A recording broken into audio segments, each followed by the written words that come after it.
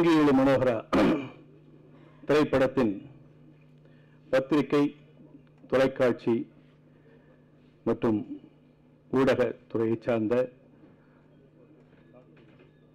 நண்பர்களின் சந்திப்பு நிகழ்ச்சிக்கு வருகை தந்திருக்கின்ற உங்கள் அனைவரையும் மாலை வணக்கத்தோடு வரவேற்பதிலே பெருமகிழ்ச்சி அடைகிறேன்.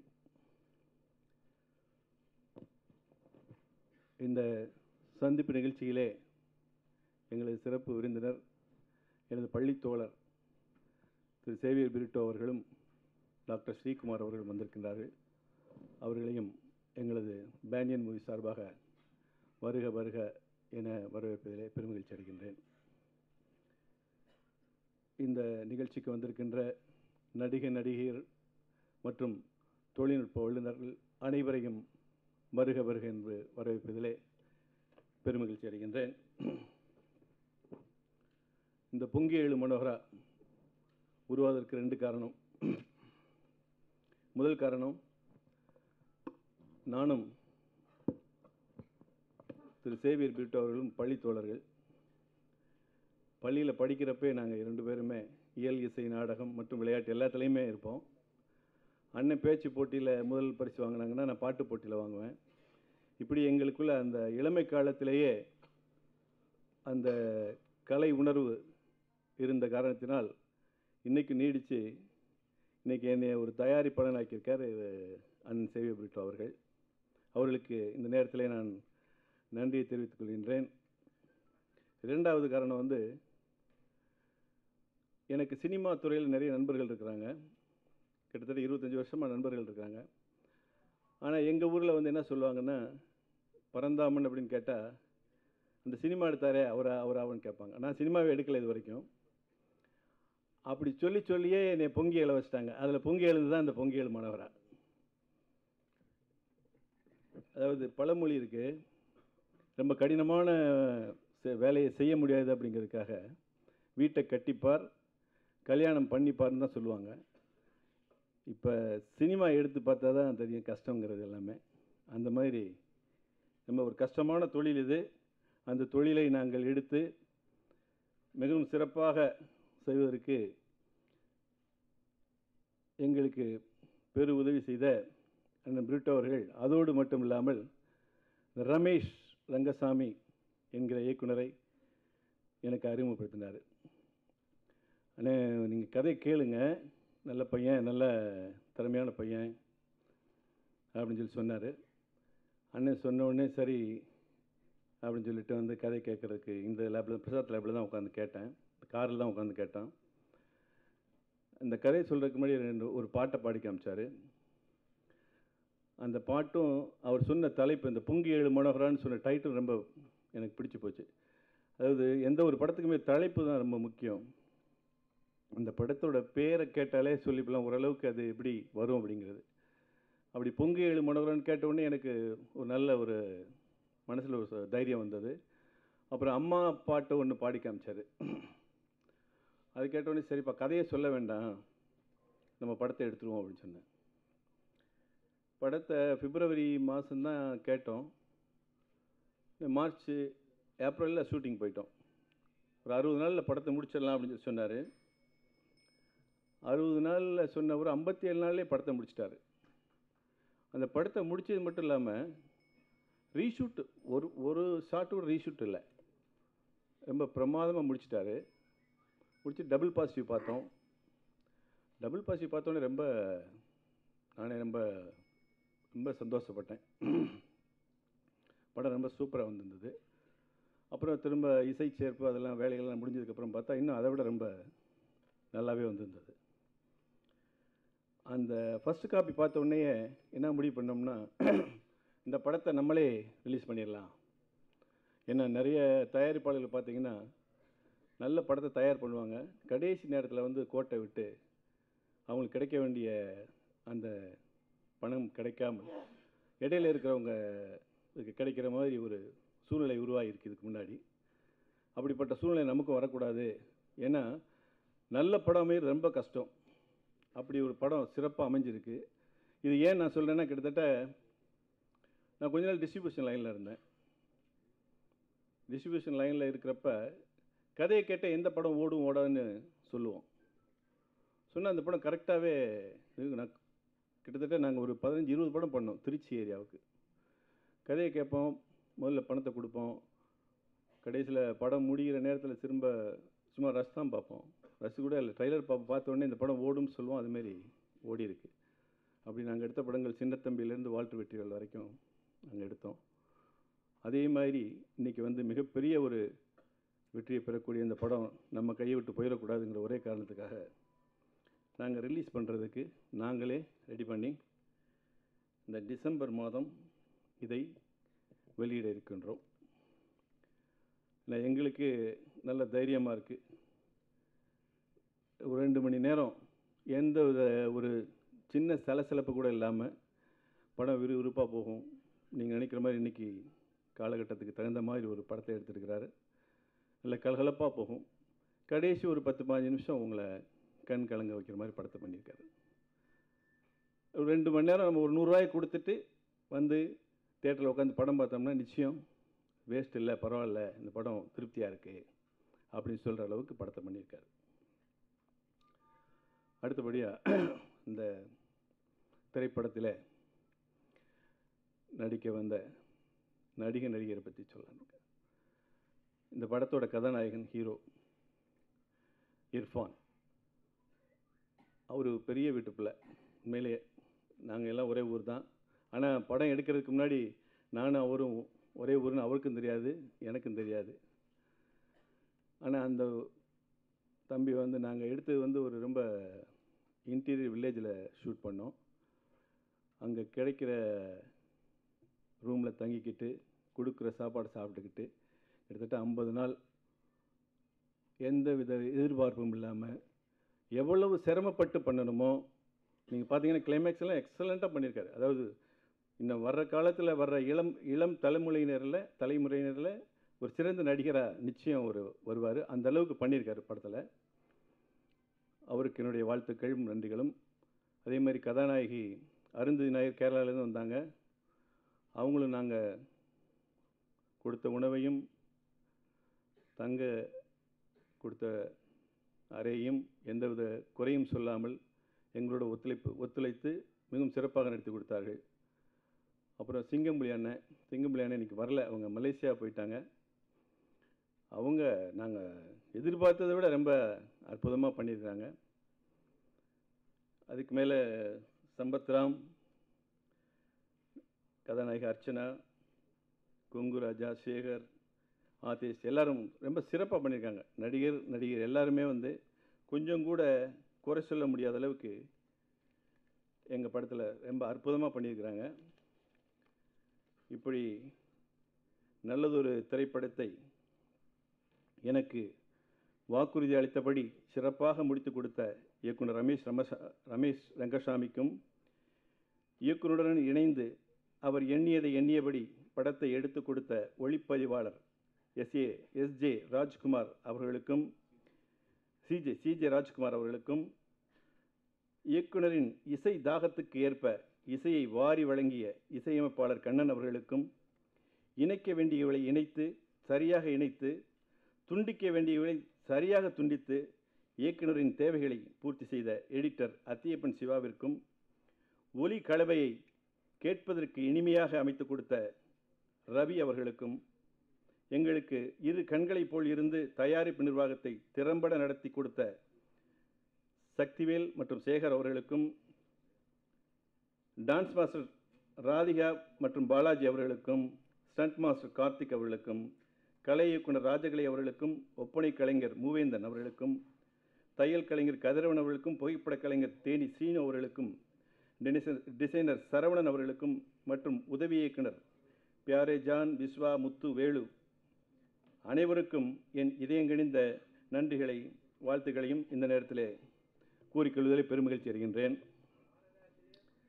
பாடலாசிரியர் அண்ணாமலை அவர்கள் நிச்சயம் மறந்து- ரொம்ப சிறப்பாக எழுதியிருக்காங்க. எல்லா பாட்டையும் அவங்க தான் எழுதியிருக்காங்க. அவரை பற்றி சொல்லணும்னா நிறைய சொல்லலாம். ஏன்னா எந்த இடத்துல போய் கேட்டாலும் இந்த பொங்கி எழுமனம் இருக்க வேண்டிய பாட்டை உடனே எழுதி கொடுத்துருவார். ரொம்ப அற்புதமாக வந்திருக்கு பாடல்கள்லாம். இதுக்கு மேலே இந்த நிகழ்ச்சி இவ்வளவு சிறப்பாக நடக்கணும்னா அது ஒருத்தரால் தான் முடியும்.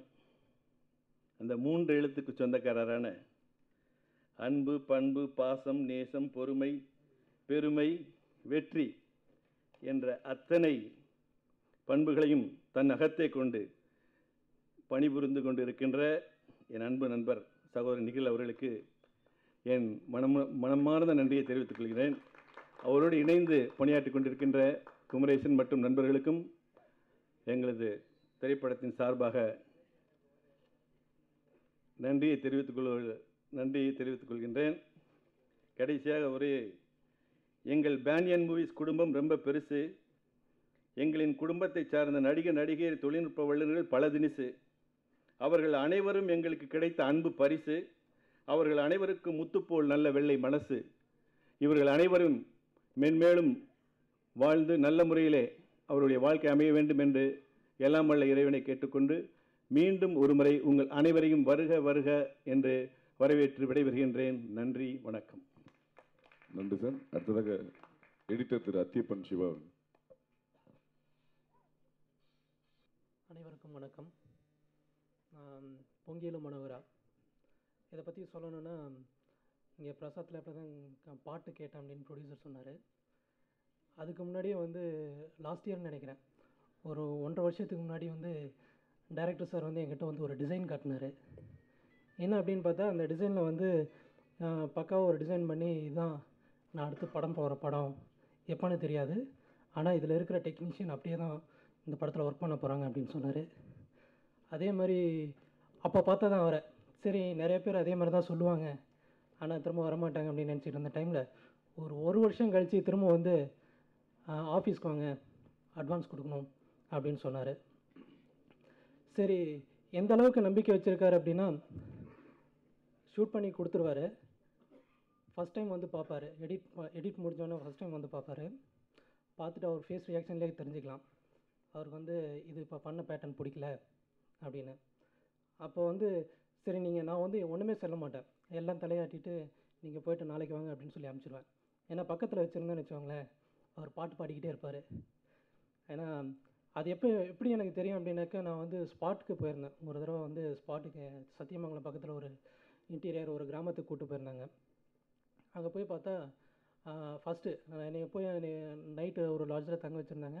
அங்கே பார்த்தா அந்த ஆஃபீஸ் பாய் வந்து ஒரு பாட்டு பாடிக்கிட்டு இருந்தான். இந்த பாட்டு எங்கேயோ கேட்ட மாதிரி இருக்கு அப்படின்னு சொல்லி வச்சாங்க சார் உங்கள் படத்தோட பாட்டு உங்களுக்கு தெரியலையா? அப்படின்னா. அதுக்கப்புறம் வந்து ஒரு கார் டிரைவர் அவர் பாட்டு பாடுறாரு. அந்த ஊர் மக்களுக்கு போய் பார்த்தா அந்த ஊர் மக்கள் எல்லாம் வந்து ஷூட்டிங் ஸ்பாட்டில் வந்து ஓரமாக நின்றவங்களாம் இந்த பாட்டை முணுமுணுத்துக்கிட்டு இருக்காங்க. என்ன அப்படின்னு கேட்டாங்க தான் தெரிஞ்சது அவர் போய் எங்கே மைக் அடித்தாலும் அந்த பாட்டை பாடியிருப்பார். ஸோ அதே பாட்டை தான் என்கிட்ட பாடி காட்டினாரு. என்கிட்ட வந்து கதை சொன்னார். கதை சொல்லும்போது என்ன நினச்சின்னா ஒரு த்ரீ ஹவர்ஸ் கதை சொன்னார். கதை சொல்லி முடித்தோடனே நான் வந்து எதுவுமே பேசல. சார் இது கண்டிப்பாக ஒரு ஹண்ட்ரட் டேஸ் ஷூட் பண்ணோம். நீங்கள் சொன்னதெல்லாம் எடுக்கணுன்னா ஹண்ட்ரட் டேஸ் ஷூட் பண்ணோம் அப்படின்னாரு. அவர் வந்து நான் எடுத்து காட்டுறேன். பாருங்கள் அப்படின்னு சொல்லி நான் சிக்ஸ்டி டேஸ் தான் நான் வச்சுருக்கேன். நான் ப்ரொடியூசருக்கு டைம் கொடுத்துருக்கேன். அதுக்குள்ளே நான் எடுத்துருவேனாரு ஆனால் அதுக்கு முன்னாடியே எடுத்து ஷூட் பண்ணி முடிச்சிட்டாரு. அதுக்கான ஒரு அது எப்படி அது பண்ணார் அப்படின்னு சொல்லி நான் ஸ்பாட்டுக்கு போகும்போது தான் எனக்கு தெரிஞ்சது. என்ன அப்படின்னா ஒரு ஷாட் எடுத்து முடித்தோடனே வந்து டைரக்டர் வந்து கண்ணை அப்படி லெஃப்ட் சைடு திருப்பினார்னாக்கா அந்த பக்கம் கேமரா கொண்டு போய் வச்சுருவார் சிஜே சார் எதுவுமே பேச மாட்டாங்க ரெண்டு பேரும். பேசிக்கிறதே இல்லை. அந்த ஷாட் முடிஞ்சோடனே வந்து டைரக்டர் யோசிக்கிற மாதிரி மேலே பார்த்தோன்னாக்கா மேலே கொண்டு போய் கேமரா கட்டிடுவார். கே கேமராமேன் சார் ஏன்னா இந்த ஷாட் இப்படி தான் வரப்போகுது. இதுதான் இந்த சீனுக்கு தேவை அப்படிங்கிறது வந்து ரெண்டு பேரும் அவ்வளோ இன்வால்வ் ஆகி அது ஃபஸ்ட்டு பேசிக்கிட்டாங்களா அப்படின்னு எனக்கு தெரியாது. பட் ரெண்டு பேரும் இதுதான் கதை கதைக்கு இதுதான் தேவை அப்படிங்கிறத வந்து ரொம்ப ஃபஸ்ட்டு மார்னிங் இட் செல்ஃப் அவங்க வந்து எல்லாம் பேசி முடிச்சுட்டு போயிட்டாங்க. போய் ஷூட் ஸ்பாட்டில் எந்த ஒரு ஒரு இதுவும் இல்லாமல் எடுத்துட்டாங்க. அண்டு இன்னொன்று இன்னொன்று சொல்லணும். நான் ப்ரொடியூசர் பற்றி சொல்லணும். ப்ரொடியூசர் வந்து நம்ம ஒர்க்கை ஸ்டார்ட் பண்ணோமா இல்லையா? ஒர்க்கு முடிஞ்சதா இல்லையா? அதெல்லாம் எதுவுமே எதுவுமே கேட்கல ஆனால் கரெக்டாக உங்களுக்கு இந்த டேட் சொன்னால் அந்த டேட்டில் செக் வந்துடும் அப்படின்னு சொன்ன ஒரு ப்ரொடியூசர் நான் பார்த்ததில் அவர் வந்து கரெக்டாக எல்லா டெக்னீஷியனுக்கும் அதே மாதிரி தான் பண்ணாருன்னு நினைக்கிறேன். அப்புறம் படத்தை பற்றி சொல்லணும் கண்டிப்பாக பொங்கி இளமனவரா? நான் வந்து ஃபுல்லாக சிட்டியில் இருந்த ஒரு இது சிட்டியில் வளர்ந்த ஒரு பையன். ஏன்னா எனக்கு வந்து இந்த பால்காரங்களை பற்றி எதுவுமே தெரியாது. ஒவ்வொரு சீன் எடிட் பண்ணும்போதும் ஜி இதுதான் இப்படி தான் வந்து பால்காரங்களாக இருப்பாங்களா? அப்படின்னு. ஆமாம் அப்படின்னு சொல்லி ஒவ்வொரு விஷயத்தையாக சொன்னார். அந்த விஷயத்தெல்லாம் கேட்டபோது வந்து இப்போ சமீபத்தில் பால் விலை ஏறிடுச்சு. கண்டிப்பாக ஏறினது தப்பு இல்லை அப்படின்னு தோணும். ஏன்னா இவ்வளோ கஷ்டப்படுற ஒருத்தவங்க ஒருத்த ஒரு ஃபேமிலி வந்து நல்லா இருக்கணும் அப்படின்னாக்க இதெல்லாம் நல்லா கண்டிப்பாக ஏற்றி தான் ஆகணும் அப்படிங்கிற மாதிரி எனக்கு தோணுச்சு. அப்புறம் இர்ஃபான் பற்றி சொல்லணும். ஸ்பாட்டில் நான் வழக்கமாக ஏன்னா நான் எடிட்டர் யாருமே வந்து ஸ்பாட்டுக்கு கூட்டு போக மாட்டாங்க அவ்வளோ சீக்கிரத்தில். அப்போ போக மாட்டாங்க எடிட்டர்ஸ் போக மாட்டாங்க. ஆனால் இவர் இவருக்காக நான் போயிருந்தேன். போயிருந்தபோது ஃபஸ்ட்டு டே அப்போ தான் பார்க்குறேன் நான் ஃபஸ்ட்டு டே இர்ஃபானை பார்க்கும்போது என்ன ஆகுது? என்ன எப்படி இருந்தார் அப்படின்னா ஒரு தென்னை மரத்துக்கு கீழே உட்காந்துருந்தார் லுங்கியெல்லாம் கட்டிக்கிட்டு உட்காந்துருந்தார் பிரேக் டைமில் போயிருந்தபோது க தூங்கிட்டு இருந்தார். பார்த்தா கால் ஃபுல்லாக ரத்தம் வழிஞ்சிக்கிட்டு இருந்தது ஒரே ஈயா முச்சிக்கிட்டு இருந்தது. நான் யார் யாரோ ஷூட்டிங் பார்க்க வந்த ஆள் போல் அப்படின்னு நினச்சிட்டு இருந்தேன். அதுக்கப்புறம் தான் வந்து டைரக்டர் சொன்னார். அவர் தாங்க ஹீரோ அப்படின்னாரு. அப்புறம் அந்த எழுதி எழுப்பி கூட்டினதை அன்னைக்கு ஆரம்பித்த எங்கள் நட்பு இப்போ வந்து அண்ணன் அண்ணன் அப்படின்னு கூப்பிட்ற அளவுக்கு வந்துருச்சு.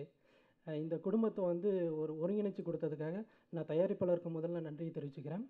அண்ட் இயக்குனருக்கும் நன்றியை தெரிவிச்சுக்கிறேன். இந்த படம் வந்து முழுக்க முழுக்க இந்த ப்ரொடியூசர் சொன்ன மாதிரி ஒரு 98% எயிட் பர்சன்ட் வந்து ஃபுல் காமெடி இப்போது ஒரு சீன் முடிஞ்சு அந்த சிரிப்பு அடங்குறதுக்குள்ளே அடுத்த சீனுக்கான சிரிப்பு வந்து சிரிப்புக்கான வெடியை வச்சிருவார் டேரக்டர் ஒவ்வொரு சீன்லேயும் அதே மாதிரியான ஒரு சிரிப்பு சிரிப்பு இந்த படத்தில் இருந்துகிட்டு இருக்கும். அண்டு நைன்ட்டி எயிட் பர்சன்ட் சிரிப்பு அப்படின்னாக்கா டூ பர்சன்ட் வந்து ஒரு கணத்தை மனதோட வந்து வெளியே படத்தை பார்த்துட்டு வெளியே வர மாதிரி இருக்கும். இந்த படம் டிசம்பர் மாதம் வெளியிடுறாங்க. உங்களோட ஆதரவெல்லாம் வந்து கொடுத்து இந்த படத்தை வந்து வெற்றி படமாக்கணும் அப்படின்னு நான் கேட்டுக்கிறேன். நன்றி. நன்றி.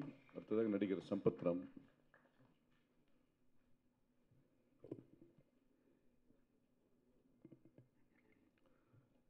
இங்கே வந்திருக்கும் பத்திரிகை நண்பர்களுக்கும் தொலைக்காட்சி ஊடகங்களுக்கும் மற்றும் இங்கே இருக்கும் பிரிட்டோ சார் அவர்கள் producer Paranthaman sir director Rangasamy sir sorry Ramesh Rangasamy sir மற்றும் தொழில்நுட்ப கலைஞர்கள் அனைவருக்கும் நடிகர் நடிகர்களுக்கும் என்னுடைய வணக்கத்தை சொல்லிக்கிறேன். டைரக்டர் ரமேஷ் ரங்கசாமி சார் வந்து எனக்கு சட்டம் ஒரு இருட்டரை படம் பண்ணும்போது வந்து எனக்கு ரொம்ப நெருக்கமானார். அந்த படம் பண்ணிகிட்டு இருக்கும்போது சும்மா ஈவினிங்கில் பேசிட்டு இருக்கும்போது சொன்னார். ஒரு கதை பண்ணியிருக்கேன் அப்படின்னு. ஃபஸ்ட்டு பாட்டு தான் பண்ணார் இப்போ எப்படி ப்ரொடியூசர்ஸ் சொன்னாரோ ஒரு பாட்டை கேட்டு தான் நான் படமே ஓகே பண்ணேன் அப்படின்னாரு. அதே மாதிரி நான் சும்மா எல்லா அஸ்டன்டேட்டும் சொல்லுவாங்க அது மாதிரி சரி கேட்கலான்னு தான் உட்காந்தேன் அந்த பாட்டை கேட்டோன்னே சரி இவர் உண்மையிலே ஒரு நல்ல ஸ்கிரிப்ட் தான் சொல்லுவார் அப்படின்னு சொல்லிட்டு ஒரு சின்ன அவுட்லைன் மட்டும் சொன்னார். அதில் என் கேரக்டர் எங்கன்னு அப்படியே யோசிச்சிட்டே இருக்கும்போது மனசுக்குள்ளே என்னடா நமக்கு ஏற்ற மாதிரி எதுவும் கேரக்டர் இல்லையே அப்படின்னு யோசிச்சுருந்தேன் சார் என்ன சார் நமக்கு எதுவும் கேரக்டர் இல்லையா அப்படின்னேன். எல்லா நடிகர்களும் கேட்குறது தான் அஸ்டன் அஸ்டன் ரைட்டர்ஸ்கிட்ட அவர் சொன்னார் இந்த அப்பா கேட்டு வருதுல்ல அதான் நீங்கள் பண்ணுறீங்க அப்படின்னாரு. சார் என்ன சார் நான் வில்லன் ஆகணும் அப்படி இப்படின்னு நினச்சிட்டு இருக்கேன். இப்போவே நீங்கள் வந்து என்னை அப்பா கேரக்டர் பண்ண வைக்கிறீங்க அப்படின்னேன். இல்லை இல்லை பண்ணுங்க உங்களுக்கு நல்லாயிருக்கும் அப்படின்னாரு.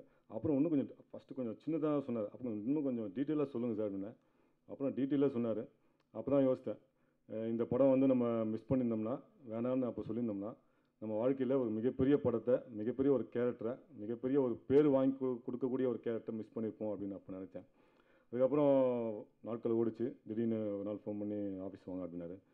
போனேன் அப்புறம் கிட்டத்தட்ட மறுபடியும் அதே கேரக்டர் தான் அந்த கேரக்டர் தான் நீங்கள் பண்ணுறீங்க அப்படின்னாரு. சரிங்க சார் பண்ணுவோம் அப்படின்னு சொன்னேன். ஏன்னா எனக்குள்ள ஒரு கான்ஃபிடென்ட் இல்லை. ஏன்னா நம்ம வழக்கமாக ரவுடி கேட்டு கொடுத்தா சூப்பராக பண்ணிவிடுவோம் ஒரு வில்லத்தனமான ஒரு போலீஸ் கொடுத்தா நக்கலாக பண்ணிவிடுவேன் பட் இது எப்படா பண்ண போகிறோம் அப்படின்னு உள்ளுக்குள்ளே ஒரு சின்ன டவுட் இருந்துகிட்டே இருந்தது. ஆனால் அவர் வந்து அந்த பால்காரனை அதாவது அவங்க அப்பாவோட கேரக்டரை எனக்கு உள்ளே செலுத்திட்டார் இன்ஜெக்ட் பண்ண மாதிரி ஆக்கிட்டார். எனக்கு கிட்டத்தட்ட ஒரு பதினஞ்சு நாள் ஒர்க் பண்ணியிருக்கேன் அவர் கூட. இந்த படத்தில் ஒர்க் பண்ணேன். அந்த கேரக்டரை பற்றி சொல்லி சொல்லி சொல்லி சொல்லி அந்த பால்காரனாகவே என்னை மாற்றிட்டார் எப்படி பால்காரனை கட்டுறது எப்படி பாலை இங்கே இங்கே இருக்கிற ஒரு கேன் இருக்கும். இவ்வளோ தூரம் தூக்கி அந்த பே அந்த கேனில் இந்த கேனில் அந்த கேனுக்கு ஊற்றணும் இவ்வளோ தூரம் தூக்கி ஊற்ற வேண்டியது இருக்கும். ஸோ அதெல்லாம் வந்து லைவாக நீங்கள் வந்து நடிக்கிறதுன்னு தெரியக்கூடாது அப்படின்னு சொல்லிட்டு அது ஒரு ரெண்டு மூணு நாள் அப்பப்போ டைம் கிடைக்கும் போது அதை ஊற்றி ஊற்றி பார்த்து அப்படிலாம் எனக்கு ட்ரைனிங் கொடுத்து தான் அதை நடிக்க வச்சார். உண்மையிலேயே அந்த பால்காரன் கேரக்டரில் நான் நடித்தேங்கிறத விட என்னை அவர் வந்து அந்த பால்காரனாக வாழ வச்சுக்காருன்னு தான் சொல்லணும். நான் எப்போ ஃபோன் பண்ணாலும் சொல்லுங்கள் டேடி அப்படின்னு தான் சொல்லுவேன். ஏன்னா அந்த கேரக்டருடைய கேரக்டரைசேஷன் ப்ளஸ் அந்த கெட்டப்பு அந்த காஸ்டியூம் எல்லாமே அவங்க அப்பா எப்படி இருந்தாரோ ஏன்னா அது ஒரு அது ஒரு அவருடைய உண்மை சம்பவம் அவருடைய சொந்த கதை அது. அவங்க அப்பா எப்படி இருந்தாரோ அதே மாதிரி என்னை மாற்றி ஏன்னா நானே வந்து நான் ரெண்டு வாட்டி படம் பார்த்தேன். அதில் வந்து நான் தான் பண்ணியிருக்கேனா அப்படின்னு எனக்கு தெரியல. ஏன்னா அந்த கேரக்டர் தான் நான் பார்த்தேன். படம் பார்க்கும்போது அந்த கேரக்டர் தான் எனக்கு தெரிஞ்சுது. இப்படி தான் எல்லாருமே வந்து எல்லா மனிதர்களுக்கும் அவர் தான் கடவுள் இவர் தான் கடவுள்னு நம்ம சொல்கிறோம் பாபாவை வேண்டுறோம் அப்புறம் முருகரை வேண்டுறோம் அப்புறம் பெருமாளை வேண்டுறோம். இப்படி எல்லாருக்கும் ஒரு கடவுளை வேண்டுறோம். ஆனால் என்னை போல் கஷ்டப்பட்டு எப்படியாவது ஒரு நல்ல கேரக்டர் கிடைக்காதான்னு ஏங்கிக்கிட்டு இருக்க நடிகர்களுக்கு ரமேஷ் ரங்கசாமி சார் மாதிரி இருக்கவங்க தான் கடவுள். ஏன்னா எங்களுக்கு நான்லாம் பதினாறு வருஷமாக போராடிட்டு இருக்கேன் சினிமாவில். நானும் ஜெயிக்கணும் ஜெயிக்கணும் ஜெயிக்கணும்னு. பட் எனக்கு கரெக்டாக கரெக்டாக சில படங்கள் அமைஞ்சாலும் சில படங்கள் ஓடல. இந்த படத்தில் வந்து நிச்சயமாக எனக்கு வந்து ஒரு மிகப்பெரிய ஒரு பேர் கிடைக்கும்னு நம்புகிறேன் அதுக்கு எல்லாருக்கும் வணக்கம். பொங்கியலு மனோகரா படத்தோட பேனியன் மூவிஸ் தயாரிப்பாளர்களுக்கு முதல்ல நாங்கள் எங்கள் நன்றியை தெரிவிச்சுக்கிறோம். எங்கள் பிரிட்டோ சார் அவரோட படத்தில் சட்டமுறை இருட்டரை மூலியமாக தான் எனக்கு ரமேஷ் சார் ஃப்ரெண்ட் ஆனார். ஸோ ரொம்ப சந்தோஷமாக இருக்குது இந்த டீமில் ஒர்க் பண்ணுறதுக்கு ஏன்னா ஒரு வெற்றி படம் மூலியமாக எங்கள் எல்லாரையும் அடுத்த ஸ்டெப்புக்கு கூட்டிகிட்டு போகிறாரு எங்கள் பேனியன் டிவி மூவிஸோட ப்ரொடியூசர் ஸோ அவருக்கு நாங்கள் எங்கள் மூலியமாக ஒரு பெரிய நன்றியை தெரிவிச்சுக்கிறோம். மற்றும் எங்கள் ரமேஷ் சாரை பற்றி கண்டிப்பாக சொல்லி ஆகணும்.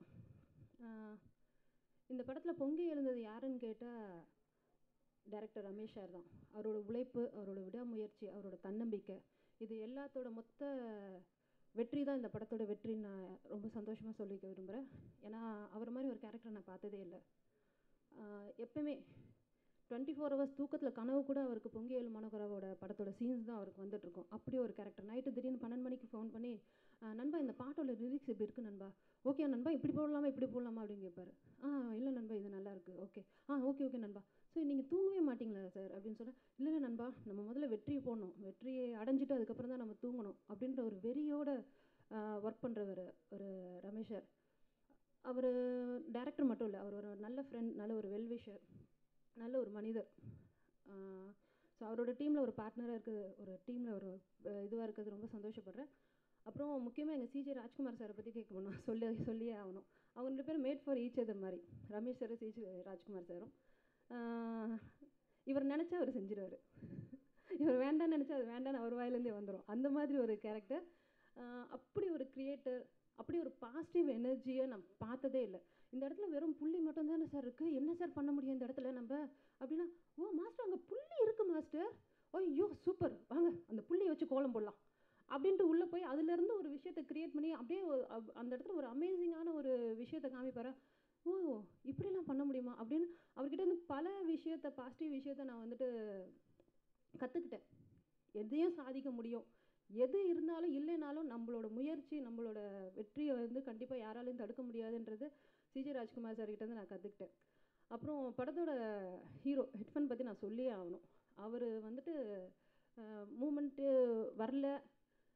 வேண்டாம் மாஸ்டர் மாற்றுங்க வேறு ஏதாச்சும் ட்ரை பண்ணலாமா மாஸ்டர்னு இது வரைக்கும் கேட்டதே கிடையாது. எவ்வளோ டஃப்பான மூமெண்ட் எவ்வளோ ஷார்ட் டைமில் சொன்னாலும் ஆ சூப்பர்க்கா பண்ணிடலாம்க்கா. ஓகேக்கா பண்ணிடுறேங்க பண்ணிடுறேங்கான்னு சொல்லிட்டு வித்தவுட் பிரேக்கில் சாப்பிடாம கேப்பிடாமல் ஆடிட்டு இருந்தால் கூட அந்த எனர்ஜி அந்த ஒரு கொஞ்சம் கூட அந்த டயர்டை வந்து ஃபேஸில் காமிக்காமல் அவ்வளோ எனர்ஜியாக பண்ணிகிட்ருப்பார் டோட்டல் டீமே பார்த்திங்கன்னா ஒரு எஜெட் எனர்ஜெட்டிக் டீம் இந்த டீமில் நானும் ஒருத்தரையாக இருக்கிறதுக்கு ரொம்ப சந்தோஷப்படுறேன். ரொம்ப பெருமைப்படுறேன். இந்த வாய்ப்பு கொடுத்ததுக்கு எங்கள் எல்லாருக்குமே நான் ரொம்ப நன்றி தெரிவிச்சுக்கிறேன். கண்டிப்பாக இந்த படத்தோட வெற்றி விழாவில் மீண்டும் சந்திப்போன்ற நம்பிக்கையோடு உங்கள்கிட்ட இருந்து விடைபெறுறேன் நன்றி வணக்கம். நன்றி. மாலை வணக்கம். நான் அதிக நேரம் எடுத்துக்கொள்ள விரும்பல. முதல்ல வந்து I should thank Brito sir நான் இன்னைக்கு இந்த மேடையில் உங்கள் முன்னாடி இந்த ப்ராஜெக்டில் இருக்கிறதுக்கு மிக முக்கியமான காரணம் அவர் தான் அவர்கிட்ட இருந்து பல விஷயங்கள் எனக்கு அவர் பெரிய inspiration sir thank you so much அடுத்து வந்து பரந்தாமன் சார். உண்மையாகவே இந்த படம் வந்து இவ்வளோ சிறப்பாக வர்றதுக்கு அவர் மிக முக்கிய காரணமாக இருந்தார்.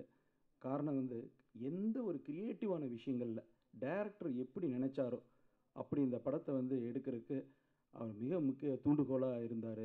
எந்த ஒரு அவர் சொன்ன மாதிரி அந்த வார்த்தையை காப்பாற்றினார் பாட்டை கேட்டுட்டு அப்படி படம் எடுத்தார். நடுவில் வந்து பார்த்திங்கன்னா எந்த ஒரு இன்டர்ஃபரன்ஸ் கிடையாது. அதே மாதிரி ஒரு தயாரிப்புக்கு என்ன வேணுமோ அதை மிக சரியாக செஞ்சார்.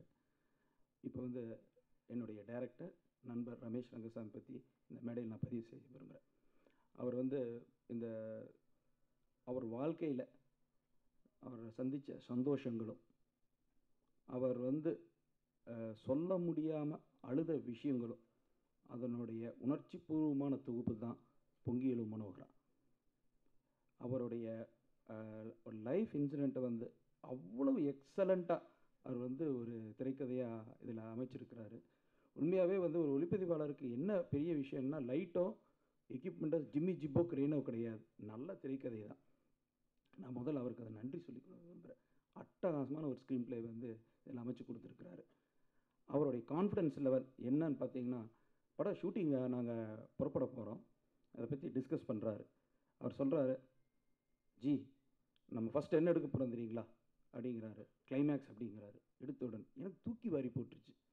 படத்தை கிளைமேக்ஸ் வந்து முதல் மூணு நாள் ஷூட் பண்ணுறது அதே நான் ஒத்துக்கொள்ளவே மாட்டேன். நான் அவர் கூட ஆர்கியூ அப்படி ஒரு ஆர்கியூமெண்ட் நான் வைக்கிறேன். வேண்டவே வேண்டாம் வேண்டவே வேண்டான்னு. ஆனால் அந்த ப்ராஜெக்டில் அவருக்கு அப்படி ஒரு கான்ஃபிடென்ஸு அதனுடைய எதிர்வினை நான் ச என்ன பார்த்தீங்கன்னா பாசிட்டிவாக அமைஞ்சுது. அது இந்த படத்தை நான் லேர்ன் பண்ண விஷயம். ஃபஸ்ட்டு அதை ஷூட் பண்ணுறோம் ஷூட் பண்ணி முடிச்ச உடன் எங்கள் லைட் லைட் ஆஃபீஸர்ஸ் கிரெயின் இந்த இதர டிபார்ட்மெண்ட் அத்தனை பேர்த்துக்குமே அட இன்னொரு படம் அப்படின்ற மாதிரி இல்லாமல் உண்மையிலேயே இந்த வருடத்தின் மிகச்சிறந்த படத்தில் வேலை செய்கிறோம் அப்படின்ற உணர்வு வந்து தட்டி எழுப்பிச்சு. அவங்களுக்கு ஒரு நம்பிக்கை வந்துருச்சு. ஆனால் அருமையான படத்தில் நம்ம வேலை செய்கிறோம் அப்படின்னு சொல்லி எங்கிட்ட அடிக்கடி சார் லைட் எங்கே வேணால் வைக்கலாம் சார். நல்ல படம் சார். நல்ல படம் சார். எனக்கு என்கரேஜ் பண்ணுவாங்க லை லைட் ஆஃபீஸர்ஸும் க்ரெயின் இதுவும் ரொம்ப சிரமமான ஒரு சுச்சுவேஷனில் அந்த படம் ஷூட் பண்ணோம் ஏன்னா நூற்றஞ்சு டிகிரி வெயில் நாங்கள் ஷூட் பண்ணும்போது. ஆனால் படத்தில் ஃப்ரேமில் அது வரவே வராது. ஏன்னா அந்த அளவுக்கு தொழில்நுட்ப கலைஞர்களுடைய பங்கீடு கிடைச்சது. அது மிக முக்கியமாக காரணம் ரமேஷ் ரங்கசாமியோடைய டீட்டெயிலிங் ஸ்பாட்டில் அதே மாதிரி தான் அவர். அவர் வந்து உண்மையாகவே வந்து பார்த்திங்கன்னா ஒரு சகலகல வல்லவன் சொல்லலாம். அந்த அளவுக்கு அவர் ஒரு எனர்ஜெட்டிக்கான பர்சன் இப்போ என்னென்னா படம் எடுக்கும்போது வேடிக்கை பார்க்கும்போது வேடிக்கை பார்க்குறவங்களுக்கு அந்த ஷூட்டிங் எப்போவுமே போர் அடிக்கும். ஆனால் இவருடைய ஷூட்டிங் வந்து பொதுமக்கள் வந்து பார்த்தீங்கன்னா அப்படி என்ஜாய் பண்ணாங்க. சத்தியமங்கலம் போனால் அவர் ஒரு சூப்பர் ஸ்டார் மாதிரி இன்றைக்கும் அவர் தெரியாதவங்க சத்தியமங்கலத்தில் அவர் தெரியாதவங்க யாருமே இருக்க முடியாது. அந்த அளவுக்கு ஹீஸ் அன் என்டர்டெய்னர் முதல்ல என்னென்னா அவர் ஒரு நல்ல என்டர்டெய்னர் நல்ல மனி மனம் படைத்தவர். அது அந்த படத்தில் வந்து ஒவ்வொரு ஃப்ரேம்லேயும் கொண்டு வந்திருக்கிறாரு. இந்த படத்தில் வேலை செஞ்சதை நான் ரொம்ப பெருமையாக நினைக்கிறேன். ஒரு ஒளிப்பதிவாளராக இதில் என்ன பார்த்தீங்கன்னா நைன்டீன் நைன்டி ஃபைவ் நடக்கிறதுனால ஒரு ஃப்ரேம் வச்சா ஒரு மலைத்தொடர்கள் படம் முழுதும் வர்ற மாதிரி நான் இதில் ஒளிப்பதிவு செஞ்சுருக்கிறேன். லைட் யூஸ்வலாக ஒரு கேமராமேன் என்ன பண்ணுவாங்கன்னா எப்படி லைட் பண்ணலான்னு பார்ப்பாங்க. இது ரிவர்ஸ் தியரி போனோம் ஃப்ரேம் வச்சா எங்கே லைட் இருக்கக்கூடாது அப்படின்றத மட்டும் நான் இதில் முக்கியமாக தீர்மானித்தோம் அதே மாதிரி தொழில்நுட்ப கலைஞர்கள் நம்ம அத்தியப்பன் சிவாச அட்டகாசம் உண்மையாகவே அவருடைய ஃபீட்பேக்கு அவருடைய எந்திசாசமு ஒரு அவர் வந்து அடிக்கடி ஒரு ஷூட்டிங் ஸ்பாட்டுக்கு வந்து ஒரு எடிட்டர் வந்து அடிக்கடி வந்து வந்துட்டு போகும்போது நமக்கே ஒரு உற்சாகம் வருது. வந்து சொல்லுவார் சார் ரஷஸ் நல்லா இருக்குது நல்லா வருது அப்படின்னு சொல்லி என்னையும் இர்ஃபானையும் என்கரேஜ் பண்ணிகிட்டே இருப்பார். அப்புறம் இர்ஃபான் இர்ஃபானுக்கு வந்து உண்மையாகவே நான் சொல்லுவேன் ஒரு கமல் சாருக்கு எப்படி ஒரு மூன்றாம் பிறை அமைஞ்சதோ அந்த மாதிரி ஒரு ரொம்ப முக்கியமான ஒரு ஃபில்மாக அவருடைய கரியரில் இருக்கும். அவ்வளோ நல்லா பெர்ஃபார்ம் பண்ணியிருக்கிறாரு. டேரக்டர் என்ன நினைச்சாரோ அந்த மனோகரன் கேரக்டரை அப்படியே வந்து அவர் இர்ஃபான் வந்து கொண்டு வந்திருக்கிறாரு. ரொம்ப பெயின்ஸ்டேக்கிங் ஒர்க் அவர் பண்ணியிருக்காரு அது வந்து என்னென்னா அது டேரக்டரும் அவரும் வந்து பார்த்திங்கன்னா ஒரு லவ்வர்ஸ் மாதிரி தான். அந்த அளவுக்கு அவங்களுக்கு ஒரு இது புரிதல் இருந்தது. ரொம்ப அதை ஃப்ரேமில் பார்க்க முடியும். அவ்வளோ ஒரு ஹார்ட் ஒர்க் பண்ணியிருக்கிறாரு. அர்ச்சனா அருந்ததி நாய அவங்கெல்லாம் வந்து பார்த்திங்கன்னா அந்த நைன்டி ஃபைவ்ல வாழ்ந்த அந்த இதை வந்து கொண்டு வந்திருக்கிறாங்க. அதே மாதிரி குறிப்பிட்டு சொன்னோன்னா சம்பத்ராம். அவர் இந்த படத்தில் ஒரு கனமான கதாபாத்திரத்தை வந்து ரமேஷ் ரங்கசாமி சார் வந்து அது நம்பிக்கை வச்சார். அது ஃப்ரேமில் வந்து கொஞ்சம் கூட பிசையாமல் மிக சிறப்பாக கொண்டு வந்திருக்கிறாங்க. நல்ல இசை அதே மாதிரி எங்கள் தயாரிப்பாளர் இதில் பாடவும் செஞ்சுருக்கிறாரு.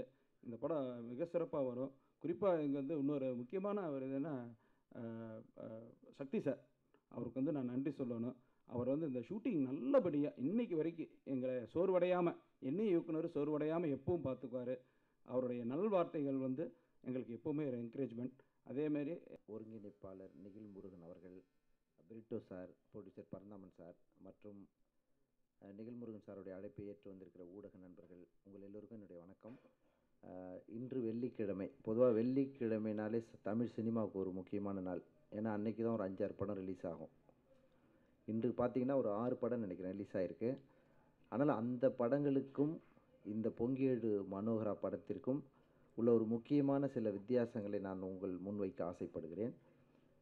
இந்த படம் என்னென்னா இருபத்தி மூன்று நாட்கள் ஒரு மனிதனின் வாழ்க்கையில் நடக்கக்கூடிய சம்பவங்கள் மட்டுமே இந்த படம். இருபத்தி மூணு நாள் ஒரு மனுஷன் லைஃப் அதுதான் இந்த மொத்த படம் பொங்கி மனோகராங்கிறது. ரெண்டாவது வந்து இந்த படத்தில் முக்கியமான விஷயம் என்னென்னா தொண்ணூற்றி ஐந்தாவது வருடத்தில் இருபது வருஷங்களுக்கு முன்னாடிய வாழ்க்கையை சுட்டி காட்டக்கூடிய ஒரு படம். மூணாவது சொல்லணும்னா பரந்தாமன் சார் வந்து என்ன நான் ஸ்டாப்பாக ஒரே ஷெட்யூலில் முடிச்சிருக்காங்க. நான் நிறைய படங்களுக்கு பாடல் எழுதினாலும் ஒரு ஷெட்யூல் முடிஞ்சு ரெண்டு மூணு அப்படிலாம் சொல்லுவாங்க. போனோடனே ஐம்பத்தி அஞ்சு நாள் தொடர்ந்து எடுக்கப்பட்ட படம் எனக்கு தெரிந்து. நான் நேரடியாக பார்த்து. அப்புறம் மூன்றாவது வந்து ரஜினி சார் வந்து அண்ணாமலை படத்தில் பால்காரன் ரோல் பண்ணியிருப்பார். பெரிய ஹிட் ஆச்சு அந்த படம். இர்ஃபான் வந்து பால்காரனாக நடித்த அடுத்த படம் என்று நான் நினைக்கிறேன். ரஜினி சார் மாதிரி வரணும்னு ஆசைப்பட்றேன். நான் ஒரு ரெண்டு மூணு நாளைக்கு முன்னாடி இந்த படம் பார்த்தேன் நான். இர்ஃபானுடைய நடிப்பு வந்து ரொம்ப ஸ்பீடாக இருக்குது சின்ன வயசில் அர்ஜுன் சாரை பார்த்த மாதிரி நான் ஃபீல் பண்ணேன். ரொம்ப வேகமாக நடிக்கக்கூடிய ஒரு இளம் கதாநாயகனாக அவர் இருக்கிறார் என்று என்னால் உணர முடிந்தது. அவர் பார்த்திங்கன்னா இந்த படக்கதை வந்து இயக்குனர் ரமேஷ் ரங்கசாமியின் வாழ்க்கையில் நடந்த உண்மை சம்பவங்களை அநேகமாக அதன் நெருக்கத்தில் உள்ள ஒரு கதை. இந்த வகையில் இன்று வரக்கூடிய நிறைய படங்களுக்கும் இந்த படங்க இந்த படத்திற்கும் மிகப்பெரிய வித்தியாசம் இருக்கிறது என்று நான் நினைக்கிறேன். அப்போ படம் பார்க்கும்போது எனக்கு ரொம்ப பிடிச்சிருந்தது. திருப்தியாக இருந்தது. யாரோ பேசும்போது ரொம்ப திருப்தியாக வந்திருக்குன்னு சொன்னாங்க. அதை நானும் பேசும்போதே மேடையில் உணர முடிந்தது. மீதி பாட்டு என்னென்னா என்கிட்ட ரமேஷ் ரங்கசாமி என்ன சொன்னார்னா அவர் எஸ்எஸ்சி சார்கிட்ட ஒர்க் பண்ணும்போது ரெண்டு படம் நான் எஸ்எஸ்சிக்கு எழுதும்போது தான் அவர் எனக்கு நண்பரானார். அப்பொழுது ஏற்பட்ட பழக்கம் தான் என்ன அவர் அழைக்கும் போது கூட எல்லா பாட்டும் எழுத சொல்லுவார் எனக்கு தெரியாது. ஒரு பாட்டு ரெண்டு பாட்டு தருவாங்க. என்னை வழக்கமாக கூப்பிடும்போது என்ன பண்ணுவாங்கன்னா குத்துப்பாட்டு கூப்பிடுவாங்க. இப்போ தான் கொஞ்சம் மெலடிலாம் எழுதிட்டுருக்கிறேன். ரமேஷும் அப்படி தான் அப்படின்னு பார்த்தா இல்லை சார் எல்லா பாட்டும் நீங்களே எழுதுங்க அப்படின்னாரு. எப்படி எழுதுன்னு சொல்லலை. அதுதான் ரொம்ப எனக்கு என்னுடைய பாடல் பயணத்தில் ஒரு வித்தியாசமான அனுபவமாக அமைந்தது. இந்த படத்தில் நான் எழுதிய பாடல்கள். எப்படின்னா வணக்கம். என்னோட தமிழ் கொஞ்சம் ப்ராப்ளம் இருக்கும். சாரி இது என்னோட ஃபர்ஸ்ட் மூவி ஆனால் ரொம்ப கம்ஃபர்ட்டாக நான் ஒர்க் பண்ணேன். இந்த மூவிக்கு ஃபிலிம் இண்டஸ்ட்ரிக்கே நான் வர காரணம் சிட்டரசு மேல்முருக அண்ணா. அண்ணா இப்போ இங்கே இல்லை. ஆனால் அண்ணாக்கு தான் நான் ஃபர்ஸ்ட் தேங்க்ஸ் சொல்லணும். அப்புறம் என்னோட டேரக்டர் ரமேஷ் ரங்கசாமி சார் இந்த ஆப்பர்ச்சுனிட்டி எனக்கு கொடுத்ததுக்கு ரொம்ப தேங்க்யூ அப்புறம் சிஜே ரவி ராஜ்குமார் சார் இங்கே எல்லாருமே என்ன ரொம்ப சப்போர்ட் பண்ணி எனக்கு ரொம்ப என்ன சொல்கிறதுன்னு தெரியல. ரொம்ப கேர் பண்ணி என்ன இந்த ஃபிலிம் பண்ண வச்சார். அப்புறம் special thanks to Brito sir and Paranthaman sir Nikhil sir and production manager Sakthi sir okay thank you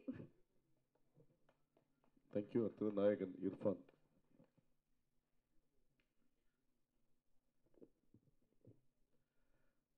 என்னை படைத்த இறைவனுக்கு நன்றி. என்ன ப்ளஸ் எல்லாருக்குமே ரொம்ப நன்றி. ரொம்ப சப்போர்ட் பண்ணியிருக்கீங்க எப்பயுமே. ஆஹ் என்னோட டீமுக்கு வந்து ஒரு பெரிய நன்றி. பொங்கியல் மனோரா ரொம்ப ஸ்பெஷலான படம் எனக்கு. நான் ஆக்சுவலாக ரூ படம் ஷூட்டிங்கில் பெங்களூரில் இருந்தேன். பிரிகேட் ரோட்டில் நடந்துட்டு இருந்தேன். ஃபஸ்ட் டைம் பெங்களூர் போயிருக்கேன். எனக்கு பிரிகேட் ரோட்டில் பார்த்தோன்னா நம்ம சென்னை மாதிரி நல்லா அங்கே செம ஃபுல்லாக கேர்ள்ஸ்லாம் நடந்து போயிட்டுருக்காங்க நான் ஃபஸ்ட் டைம் அப்படியே ஆச்சரியமாக பார்த்துட்ருக்கேன் அப்போ வந்து நம்ம ரமேஷ் அண்ணா கால் பண்ணார். கால் பண்ணிவிட்டு நீங்கள் ஹலோ சார் அப்படின்னா நான் காஃபி ஷாப்பில் உட்காந்துருக்கேன் உங்கள் ஒரு பொண்ணு சைட் அடிச்சிட்ருக்கேன் நான் சும்மா பார்த்துட்ருக்கேன் ஆ சொல்லுங்கள் சார் அப்படின்னா. நான் இப்படி ரமேஷ் ரங்கசாமி பேசுகிறேன் இப்படி பொங்கியலு மனோரான்னு ஒரு படம். அப்படின்னு சொல்லிட்டு ஒரு ஒன் லைன் சொன்னார். அது போஸ்டர் டிசைன் சொன்னார். சத்தியமாக பிரிகேடோட ஆட்டோ பிடிச்சி ரூமுக்கு போயிட்டேன். ரூமுக்கு போயிட்டு அதை பற்றி தான் யோசனை. ஏன்னா ஒரு டென் இயர்ஸ் ஜேர்னி ஒரு நல்ல படம் பண்ணும் அப்படின்னு சொல்லிட்டு அன்றைக்கி ஃபுல்லாக அதை பற்றி தான் யோசனை. நான் சார் சார் உடனே நான் சென்னை கிளம்பி வந்துடுறேன் சார் சொல்லிட்டு ரூ படத்தில் டீமில் ஒரு பெர்மிஷன் கேட்டு வந்துட்டு கதையை கேட்டேன். நிஜமாக ரொம்ப ரொம்ப சந்தோஷமாக இருந்துச்சு. நம்ம தேடிட்டு இருந்த ஒரு ஸ்கிரிப்ட் நம்ம தேடுதலுக்கு ஒரு கரெக்டான ஒரு பதில் அப்படின்ற மாதிரி ஒரு அந்த அந்த ஸ்கிரிப்ட் எனக்கு தோணுச்சு. சத்தியமாக அந்த சந்தோஷத்துக்கு அளவே இல்லை. நான் கேட்டு கேட்டு அவர் கட்டி பிடிச்சி அந்த நினைவு எனக்கு ஒன்றுமும் இருக்குது நான் அவர்கிட்ட ஃபஸ்ட்டு கேட்டது யார் சார் அந்த இன்னொரு காம்பினேஷன் கேரக்டர் யார் சார் பண்ணுறா அப்படின்னும். சொன்னார் சிங்கம்புலி அண்ணா பண்ணுறான்னு ரொம்ப சந்தோஷமாயிட்டேன். சிங்கம்புலி அண்ணா வந்து நிறைய படங்களில் பார்த்துருக்கோம். நல்லா இருக்கும் அப்படின்னு நினச்சேன். ஷூட்டிங் போயிட்டோம். ஷூட்டிங் போயிட்டு அஹ், என்ன அவருக்கும் ஃபஸ்ட் டைம் சொன்னது வந்து ஒரு சத்யராஜ் சத்யராஜ் சார் மணிவண்ணன். சத்யராஜ் சார் இல்லை ஒரு கவுண்டமணி. இந்த காம்பினேஷனில் தான் இந்த ஹியூமர் கம்ப்ளீட்டாக அமையணும். இது இந்த- இந்த இதை நீங்கள் இது ரிப்ளிகா பண்ணணும் அப்படின்னு அவர் சொன்னார். ஃபஸ்ட்டு சீன் சத்தியமாக அவர் பெரிய ஆர்டிஸ்ட்டு நம்ம ஏன்னா அவர் அடிக்கிற மாதிரி தான் இருக்கும் ஒரு சீன் அவரை போட்டு நல்லா அடிப்பேன். ஸோ எப்படி சார் ரொம்ப கொஞ்சம் இதாக இருக்குது அப்படின்னா அவர் அவர் ரெண்டாவது சீன்லேருந்து ஆக்சுவலாக பிக்கப் ஆச்சு. அவ்வளோ அழகாக காமெடி வந்து எனக்கும் அவருக்கும் அந்த கெமிஸ்ட்ரி ஒர்க் அவுட் ஆயிருக்கு ரொம்ப ரொம்ப ரொம்ப சந்தோஷமாக இருக்குது ஒரு ஒரு கம்ப்ளீட்டாக ஒரு காமெடி என்டர்டைனரில் இருந்திருக்கோம் அப்படின்றது ரொம்ப சந்தோஷமாக இருந்துச்சு. அது மாதிரி நான் வந்து கிட்டத்தட்ட நான் டெலிவிஷன் பண்ணிகிட்டு இருந்தேன் சரவண மீனாட்சி பண்ணிட்டு இருந்தேன் அதுக்கப்புறம் ரூன்னு ஒரு படம் பண்ணிகிட்டு இருந்தேன். கிட்டத்தட்ட ஒரு ஆல்மோஸ்ட் லாஸ்ட் இயர் ஃபுல்லாக ஷூட் பண்ணிட்டு இருந்தேன். அப்போ ஒரு பிரேக்கே இல்லை. நான் ஆல்மோஸ்ட் சொன்னால் ஒரு நூற்றி இருபது நாள் கம் கண்டினியூஸாக ஷூட் பண்ணிட்டுருந்தேன் அப்போது திருப்பி டேட் வாங்கிட்டு தான் சர இது பொங்கியல் மன்னராக போனேன். ஃபஸ்ட்டு எடுத்தோடனையும் கதை சொல்லிட்டாரு ஓகே கிளைமேக்ஸ் வந்து செம்ம இன்டென்ஸான ஒரு கிளைமேக்ஸ் ஃபஸ்ட்டு நாள் போனேன் கிளைமேக்ஸ் சார் எப்படி சார் கிளைமேக்ஸ்னோடனையும் இல்லை நீ பண்ண போகிறது ஃபுல்லாக காமெடி தான். நீ வந்து கிளைமேக்ஸ் போர்ஷனை முடிச்சிரு அப்படின்னாரு. அந்த கிளைமேக்ஸ்க்காண்டி நிறைய ஒர்க் பண்ணோம். ரொம்ப இன்டென்ஸாக ஒர்க் பண்ணோம். ஃபஸ்ட்டு டே கால் ஃப்ராக்சரு ஃபுல் ப்ளீடிங் வேறு. அது ஆனால் சத்தியமங்கலம் அவ்வளோ மெடிக்கல் ஃபெசிலிட்டியும் எதுவுமே கிடையாது. ஒரே ஒரு டார்கெட் தான் எங்களுக்கு இருந்துச்சு. இந்த படம் வந்து ஒரு பெரிய படமாக இருக்கணும். கண்டிப்பாக எல்லாருமே இந்த படத்தை பற்றி பேசணும். அதை தவிர்த்து அந்த அறுபது நாள் நான் சத்தியமாக எதுவுமே யோசிக்கல. எதுவுமே என் நினைவுக்கு வந்ததே கிடையாது. ஏன்னா ஒரு எல்லா ஆக்டருக்கும் ஒரு ஒரு வெயிட்டிங் ஒரு ஒரு தாகம் இருக்கும். எல்லாருக்குமே ஒரு சினிமாவே பேக்ரவுண்டே இல்லாத என்னமே ஒரு பையனுக்கு. ஏன்னா நான் வந்து எங்கள் ஃபேமிலியில் எல்லோரும் ஒரு வெல் டு டூ இருந்தால் கூட அவங்களுக்கும் எனக்கும் சினிமா சினிமாவுக்கும் சம்மந்தமே கிடையாது. அவங்க சப்போர்ட்டும் எனக்கு வந்து பெருசாக எனக்கு வந்து இருந்தது கிடையாது. ஸோ அதனால் எனக்கு இந்த மாதிரி ஒரு கதை ஏன்னா இது வரைக்கும் நான் வந்து ஃபஸ்ட்லேருந்து ட்ரை பண்ணி வந்தது எல்லாமே என்னோட முயற்சி என்னோட இதுதான். ஸோ இந்த மாதிரி ஒரு கதை கிடச்சுன்னா ரொம்ப எக்ஸைட் ஆயிடுச்சு ஏன்னா இந்த மாதிரி ஒரு கதை கிடைக்காது. அதுவும் இந்த ஸ்டேஜ் ஆஃப் ஒரு எயிட் இயர்ஸாக ட்ரை பண்ணிட்டு இருந்தேன் எனக்குன்னா அந்த கதை கிடைக்கும்னா அஹ், என்னால் நம்பவே முடியல. ரொம்ப சந்தோஷமாக இருந்துச்சு அந்த விஷயம். அப்புறம் வந்து இந்த டீம் என்ன இந்த டீம் பற்றி சொல்லணும். டைரக்டர் டைரக்டர் வந்து அவ்வளோ ஹார்ட் ஒர்க் பண்ணியிருக்காரு. ஏன்னா ரொம்ப ஜாலியாக இருக்கும். ஏன்னா சொன்ன மாதிரி பாட்டு பாடிட்டே தான் இருப்பார். எப்பயுமே வந்து அது அவர் அவர் நான் சொல்லுவோம் பெட்டு கட்டணும் நானும் சிங்கப்பூர்லையானும் இப்போ வந்து ஒரு எவ்வளோ எவ்வளோ சார் ஒரு எண்பது தடவை பாடிட்டார் இன்றைக்கி நூறு ஹண்ட்ரட் ரீச் பண்ணிடுவார் அப்படின்னு. அவ்வளோ என்டர்டெய்னிங்காக இருக்கும் ஜாலியாக இருக்கும். ஏன்னா அவருக்கு அந்த மூட் செட் பண்ணார். அவர் சும்மா ஒன்றும் பாடல. ஏன்னா ஒரு காமெடி படம். நாங்கள்னா சீரியஸாக அப்படியே உம்முன்னு இருந்தோம்னா அந்த காமெடி ஒர்க் அவுட் ஆகாது. ஸோ அந்த காமெடி மைண்ட் செட் பண்ணுறக்காண்டி அவர் பண்ணது. அப்புறம் கேமராமேன் சார் கேமராமேன் சார் வந்து அவர் வந்து செல்ல தங்கம் அவர். அவர் ரொம்ப ஒரு ஆக்சுவலி இது வரைக்கும் ஒர்க் பண்ண கேமராமேன்ல ரொம்ப most most friendly and most talented cameraman நான் ரூ படத்தில் அவர் அசோசியேட் தான் அதில் கேமராமேனாக இருந்தார். அப்போ கேட்டேன் அப்படி சீஜர் ராஜ்குமார் சார் ஐயோ அவர் என்னோட குருங்க அப்படின்னாரு. அவர் புக்குன்னு எழுதியிருக்காரு கேமரா பற்றி அப்படின்னும் அதே ரொம்ப சந்தோஷமாக இருந்துச்சு. நான் ஒரு நல்ல ஒரு சேஃப் ஹேண்ட்ஸில் தான் uh, நம்மளுக்கு சேஃப் ஹேண்ட்ஸில் தான் இந்த படத்தில் நம்ம ஒர்க் பண்ணியிருக்கோம் அப்படின்னு.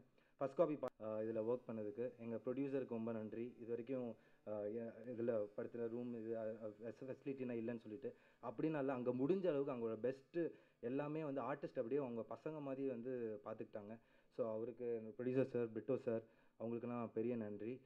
ப்ளஸ் டெக்னீஷியன்ஸ் எல்லாருக்குமே பெரிய நன்றி. பாடலாசிரியர் ப்ளஸ் எல்லாருக்குமே வந்து ஒரு ஒரு பெரிய பெரிய நன்றி. பண்ணி ஜெயிப்பா அப்படின்னு சொன்னார். நிக்கில் சாருக்கு ஒரு பெரிய பெரிய தேங்க்ஸ் இந்த படத்தை வந்து சப்போர்ட் பண்ணுங்கள் டிசம்பரில் ரிலீஸ் ஆகுது. So it's a very important film thank you so much நன்றி. அடுத்ததாக திரு பிரிட்டோ அவர்கள்.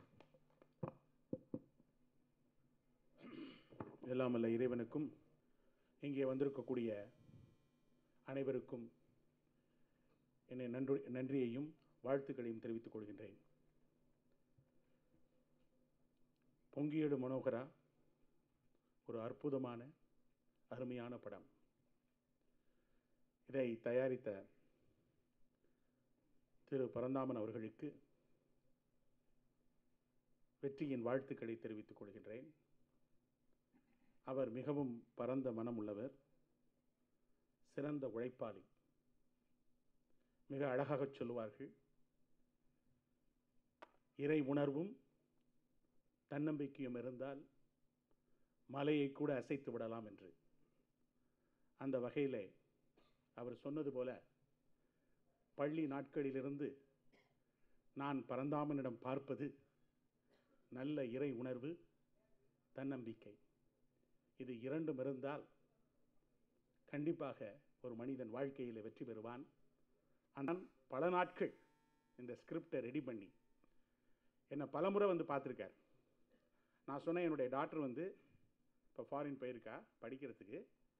வரட்டுங்க வந்த ஒரு பாடு நம்ம எஸ்எல் மேனரில் பெரிய லெவலில் பண்ணுவோன்னு சொன்னேன். அப்போது இல்லை சார் நீங்கள் எனக்கு எப்படியாவது செய்யணும். அப்படின்னு எனக்கு பல தடவை விடாமல் எனக்கு மெசேஜ் அனுப்பிக்கிட்டே இருப்பார். அப்போ என்னுடைய பரந்தாமன் சாருக்கு சில கொஞ்சம் சினிமா எக்ஸ்பீரியன்ஸ் இருக்குது அவர் சொன்னார்ல இது கன்னி முயற்சின்னு. அவரை தயாரிப்பாளராக்கலாம்னு சொல்லிட்டு அவரை அணுகுனப்போ அவர் சொன்னார் நான் முதல்ல கதை கேட்குறேன் அப்படின்னாரு. ரங்கசாமிகிட்ட கதை கேட்டார். உடனே எனக்கு ஃபோன் பண்ணி கண்டிப்பாக அந்த கதையை பண்ணுறோம் அப்படின்னு சொன்னார். ஏன்னா அந்த அளவுக்கு கதையில் கருவும் இருக்கிறது கருத்தும் இருக்கிறது. ஏன் இந்த படம் வெற்றி பெறும்னு சொன்னால் எஸ்ஏசிட்ட இருந்த எல்லா அசோசியேட் டைரக்டரும் சரி அசிஸ்டன்ட் டைரக்டரும் சரி வெளியில் வந்து பெரிய அளவில் முதல் படத்தில் வெற்றி பெற்றிருக்காங்க. அதை நீங்கள் பார்த்துருப்பீங்க. அதை நான் சொல்லணுங்கிற அவசியம் இல்லை. அந்த வகையில் ரமேஷ் ரங்கசாமி வந்து எஸ்எஸ்சியோடைய அசோசியேட் டைரக்டராக இருந்தார். ரெண்டாவது என்னென்னு கேட்டிங்கன்னா தாய் சென்டிமெண்ட் உள்ள எந்த ஒரு படமும் ஜெயிச்சு தான் இருந்திருக்கு. இதுலேயும் தாய் சென்டிமெண்ட் நிறையா வச்சுருக்கார் இன்க்ளூடிங் தட் சாங் மூணாவது வந்து கம்ப்ளீட் காமெடி ட்ராக் உள்ள எந்த ஒரு படமும் ஜெயிச்சிருக்கு. இத்தனை அம்சங்களையும் நீங்கள் இந்த படத்தில் பார்ப்பீங்க அதனால தான் உறுதிப்பட நான் சொல்கிறேன். இந்த படம் புங்கியீடு மனோகரா ஒரு சிறந்த வெற்றி அடை வெற்றி அடையும். அதில் நான் ஸ்கூலில் முடிச்சுட்டு சென்ட் ஜோசஸ் காலேஜ் திருச்சி வர்றதுக்கு முன்னாடி ஹீரோ ஆகணும்னு ஆசை எனக்கு. ஏன்னா அப்போ நிறைய ட்ராமா போடுவேன் பாட்டு எழுதுவேன். பாட்டு பாடுவேன் பேச்சு போட்டி போவேன் நிறைய விஷயங்கள் செஞ்சிட்ருப்பேன். காலேஜில் கூட சேர்மனாக இருந்திருக்கேன் அந்த மாதிரி. அப்போ எங்கள் அம்மா சொன்னாங்க நம்ம வீட்டுக்கு கூத்தாடி பொழப்பு வேணான்னு சொல்லி.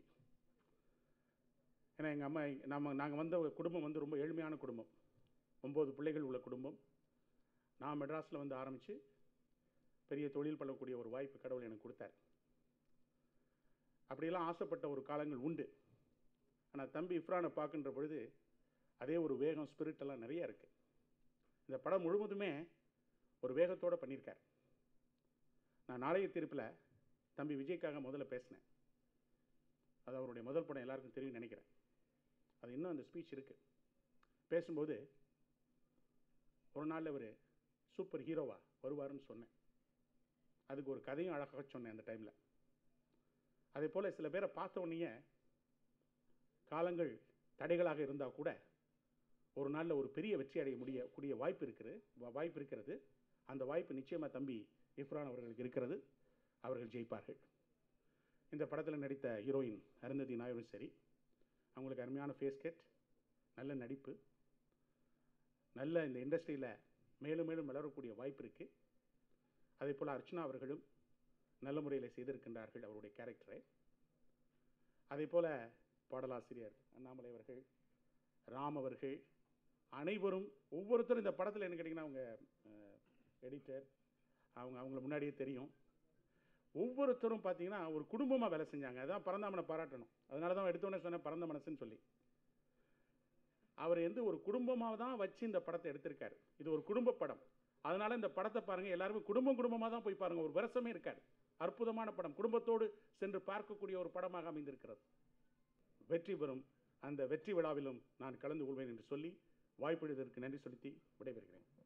நன்றி சார்.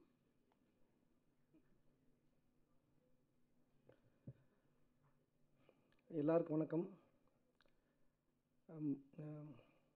பிரிட்டோ சாருக்கு முதல்ல நன்றி சொல்லிக்கிறேன். அஹ், என்னோட குரு எஸ் சி சந்திரசேகர் சாருக்கும் இந்த இடத்துல நன்றி சொல்லிக்கிறேன். விமலா மேடம் பிரிட்டோஸோட மிஸ்ஸஸ் அவங்களுக்கும் நன்றி சொல்லிக்கிறேன். சினேகா பிரிட்டோ அவங்களுக்கும் இந்த இடத்துல நன்றி சொல்லிக்கிறேன். இவங்க தான் நான் இன்னைக்கு நிற்கிறதுக்கு காரணம். உண்மையாகவே உங்களெல்லாம் பார்க்கும்போது ஒரு மேஜிக்காக இருக்கு எனக்கு. ஒரு பெரிய கனவு. இது நிஜமானு கூட கிள்ளி பார்த்துக்கணும்னு தோணுது. பத்திரிக்கை முன்னாடி நிற்கிறது ஒரு நிறைய படங்கள் ஷூட்டிங் போயிருக்கேன் நிறைய ஒர்க் பண்ணியிருக்கேன். தூரத்தில் நின்றுருக்கோம். ப்ரெஸ் மீட் எல்லோரும் பேசுவாங்க. அது உண்மையாக உங்களை சந்திக்கிறது நான் ரொம்ப பேசினா அழுதுறேன்னு தோணுது எனக்கு. ஸோ நீங்கள் மனசு வச்சா சத்தியமாக அந்த படம் ஓடும். என்ன தான் நீங்கள் ஸ்கிரிப்ட் பண்ண என்ன பண்ணாலும் நீங்கள் மனசு வைக்கணுங்க. ஏன்னா எத்தனையோ நல்ல படம் தேட்டர் விட்டு ஒரே வாரத்தில் காணாமல் போயிருக்கு. ஸோ கண்டிப்பாக இந்த படம் பாருங்கள் இதே இடத்துல டிசம்பர் நீங்கள் படம் பார்ப்பீங்க இது வந்து ஒரு நான் ஒரு ஆடியன்ஸாக இருந்தால் அந்த ஸ்கிரிப்டே பண்ணியிருக்கேன் நிறைய படம் பார்க்கும்போது நிறைய ஆடியன்ஸ் பக்கத்தில் உட்காந்துருப்பாங்க மொக்க படம்டா அப்பா. ஏன்டா இந்த படத்துக்கு வந்தோன்னு சொல்லி சொல்லிட்டு போயிருக்கான். ஐயோ இந்த மாதிரி நம்ம படத்தை சொல்லிடக்கூடாது ஏன்னா எனக்கு எந்த பேக்ரவுண்டும் இல்லைங்க. நான் ஒரு பொண்ணை ஏமாற்றி தான் கல்யாணம் பண்ணேன். சினிமாக்காரனுக்கு பொண்ணே தரமாட்டாங்க. நான் வந்து இங்கே எல்லோரும் எனக்கு எல்லாரும் தெரியும். ரஜினி தெரியும் கமலை தெரியும்னு பீச்சில் நின்று ரஜினி தோல் கையை போட்டு ஃபோட்டோ எடுத்து போய் காட்டினேன் ரஜினியெல்லாம் எனக்கு தெரியுங்கன்னு சொல்லி எங்கள் மாமனாரை ஏமாற்றி தான் பொண்ணை கல்யாணம் பண்ணேன். அவர் என்னை நம்பி பொண்ணை கொடுத்துட்டாரு. நான் சொன்னேன் ஆறு மாதத்தில் டேரக்டர் ஆயிடுவேன் என் ஒய்ஃப்கிட்ட நல்லா ஸ்மோக் பண்ணுவேன். அவள் சொன்னா எனக்கு இந்த ஸ்மோக் பண்ணுறது மட்டும் பிடிக்காதுங்க. அது மட்டும் விட்டுருங்க. நீங்கள் டேரக்டராக எப்போ ஆகுங்க. எனக்கு பிரச்சனை இல்லைன்னா. அவளுக்காக ஸ்மோக் பண்ணுறது விட்டேன். அது ஒரு காரணம். இன்னொரு காரணம் டெய்லி ரெண்டு பேக்கெட் அடித்தா காசு இவ்வளோ செலவாகுது. அதை கொஞ்சம் ரசம் வச்சு சாப்பிட்டுக்கலான்றக்காக அதை நான் அந்த ரெண்டு பேர் சிகரெட் கட் பண்ணி ஒரு மொட்டை மாடியில் வெயிலில் அவளை கூட்டு வந்து மெட்ராஸில் வாழ வச்சேன். பத்துக்கு பத்து தான். அதுலேயே சமைச்சுக்கணும் அதுலேயே பாத்ரூம் போய்க்கணும் அதுலேயே குளிச்சுக்கணும் அதுலேயே படுத்துக்கணும். அங்கே வந்து பாத்ரூமே அவ்வளோ சைஸாக இருக்குது அந்த பாத்ரூம் தான் இங்கே வீடை. ரொம்ப கஷ்டப்பட்டு எனக்கு நம்பி வந்துட்டு அந்த பொண்ணு பாவம். எனக்கு ரொம்ப ஃபீல் ஆச்சு. அப்போ எஸ்ஏ சந்திரசார் சார்கிட்ட போய் நான் இல்லை சாரி கல்யாணமே வந்துட்டான் நான் இங்கே ட்ரை பண்ணிட்டு இருந்தேன் ராடன் மீடியாவில் சன் டிவி ராடன் சேர்ந்து ஒரு பத்து படம் பண்ணுறதா இருந்தாங்க. நான் கதை சொல்லி ஓகே பண்ணிட்டேன். அப்போ என் ஒய்ஃப் வந்து ஒரு ரெண்டாயிரத்தி ஐநூறுரூவாய்க்கு இங்கே பக்கத்தில் ஒரு ஃபர்னிச்சர் கடையில் அவளுக்கு ஒன்றுமே தெரியாது வில்லேஜில் வந்தவன். ஃபர்னிச்சர் கடையில் வேலைக்கு சேர்ந்து அவள் ஒரு ரெண்டாயிரத்தி ஐநூறுரூவா வாங்கி வாடகை கொடுத்து சாப்பாடு போட்டு என்னை காப்பாற்றி என்னை டயட் ஆக்கினா போய் ட்ரை பண்ணுங்கன்னா ட்ரை பண்ணேன் டயட் ஆகிட்டேன் ஆனால் ஏதோ சன்னு டிவி ரா ராடனுக்கு ஏதோ சம்திங் ப்ராப்ளம் ஆகி அப்படியே படம் நிப்பாட்டாங்க படம் ஆரம்பிக்கலை. இந்த சந்தோஷத்தில் நான் வந்து என் ஒய்ஃப் வந்து வேலைக்கு போக வேண்டாம் நான் டயட் ஆகிட்டேன்னே அவள் கர்ப்பமாயிட்டா. குழந்த வயிற்றில் வேலை செய்ய முடியல வாமிட் வருது என்னால் வேலை செய்ய முடியலங்கன்ட்டான் திருப்பி நான் படம் அசிஸ்டன்ட் டேரக்டராக தேட ஆரம்பித்தேன் இப்போ எஸ்சி சார் சட்டை போய் எஸ்சி சந்திரசேன் சட்டை போய் ஜாயின் பண்ணேன். அவர்கிட்ட போய் அடி மிதியெல்லாம் வாங்கி என்னை போட்டு பெரட்டி பட்டியெல்லாம் அடித்தார் நான் நினச்சேன் எனக்கு ஒரு குழந்த பிறந்துச்சு. என்னடா ஒரு ஒரு குழந்தைக்கு அப்பாவாக இருக்கிறமே இப்போ போய் இன்னொருத்தர் அடி வாங்கிட்டு இருக்கமேன்னு. நான் ஒரு குழந்தைய அடிக்க வேண்டிய ஸ்தானத்துலேருந்து இன்னொருத்தர் அடி வாங்கிட்டு இருக்கமேன்னு தோணுச்சு. ஆனால் நல்லா அடி மிதி மிதி மிதிச்சார். அப்போ எனக்கு வலிச்சது. ஆனால் இப்போ யோசிக்கிறேன். அவருக்கு நன்றி. என்னை நல்லா எனக்கு அப்பா கிடையாது. அப்பா இறந்துட்டாரு. என் பேர் ரமேஷ். அவர் தான் ரமேஷ் ரங்கசாமி பேரே மாற்றி வச்சார்.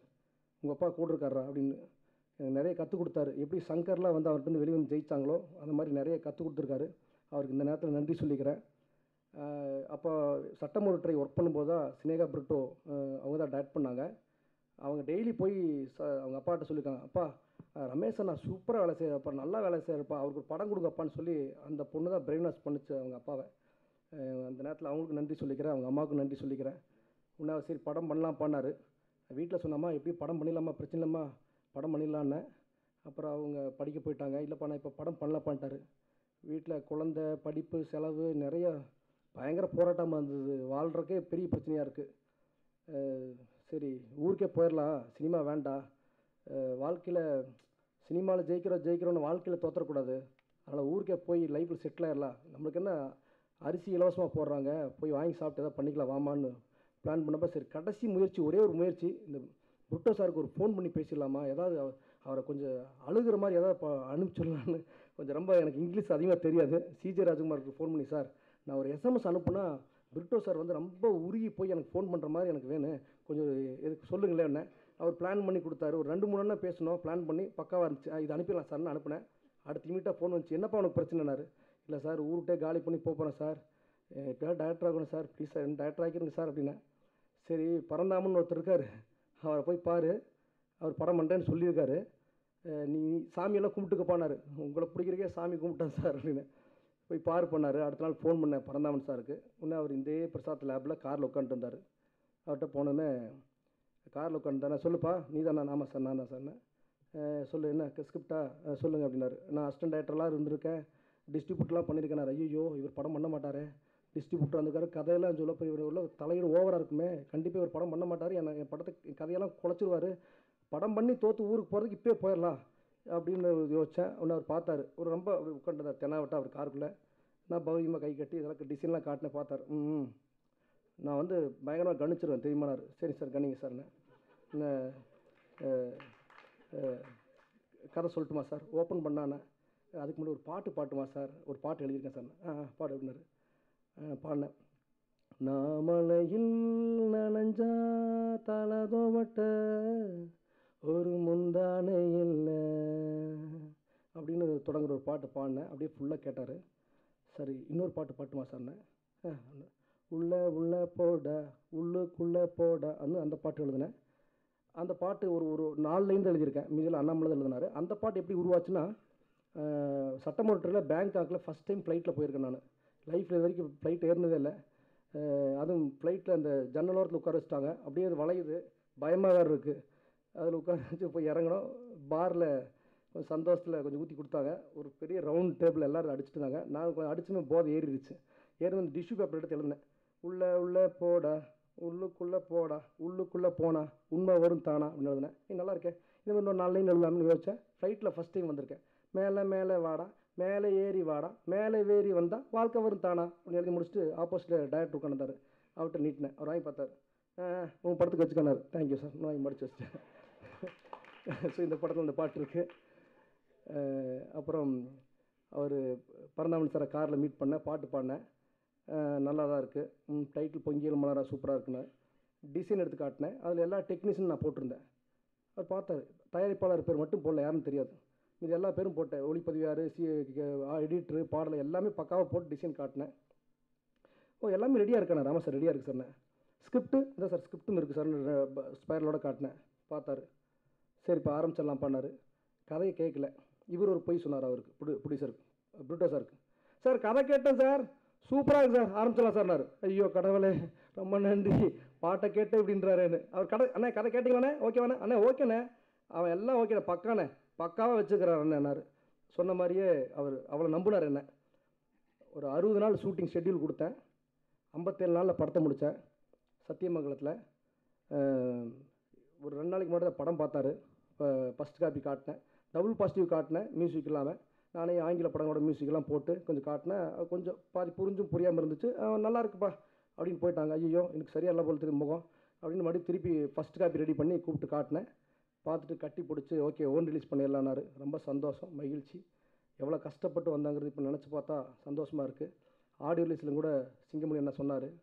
இடையில நான் இந்த போஸ்ட் ப்ரொடக்ஷன் ஒர்க் போயிட்டு இருக்கும்போது என்னென்னு தெரியல திடீர்னு ஒரு நாள் என்னமோ வீட்டுக்குள்ளே என்னால் இருக்க முடியல. அந்த பத்துக்கு பத்துக்குள்ளே. காற்று இல்லை. சுத்தமாக காற்றே கிடையாது அந்த வீட்டில். ஏன்னா எல்லாமே பில்டிங் கட்டி டைட் பண்ணிட்டானுங்க. ஜன்னலே அடைச்சிட்டானுங்க. காற்று வரல. வெளியே ஓடி வந்தேன். ஒய்ஃப் பின்னாடி வந்து என்னம்மா என்னங்க என்ன? இல்லை என்னன்னு தெரியலம்மா. என்னால் ஒரு மாதிரி உள்ளே இருக்க முடியல.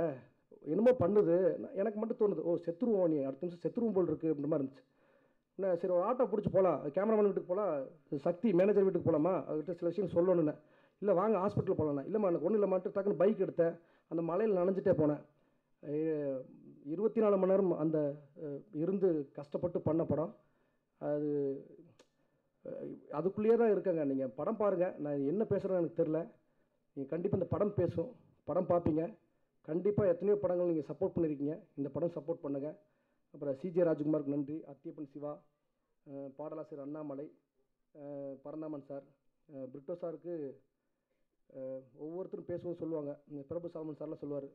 தேங்க்ஸ் ஜீசஸ் அப்படிம்பார். அமீர் சார் வந்து மேடல் என்ன சொல்லுவார். அல்லாவுக்கு ஏதாவது சொல்லுவார். அப்போ நானும் சொல்லுவேன் இந்த மாதிரி நம்ம எதாவது சொல்லுவோமே அப்படின்னு. இனிமேல் நான் சொல்லுவேன். Thank you Brito sir thank you thank you Nikhil sir Nikhil sir ரொம்ப நன்றி.